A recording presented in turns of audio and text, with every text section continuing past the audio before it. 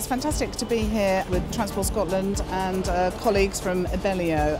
This is demonstrating our progress with the fantastic 70 trains that we're going to be delivering into Scotland for passengers.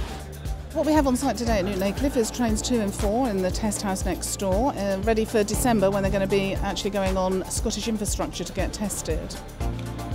Our trains are very renowned for extremely impressive performance results. If I just take our Javelin trains down in Kent, we know since those trains have been in operation, they've got a fantastic record of 99.7% into service every single day since they've been in operation. These trains are going to have that sort of similar performance level.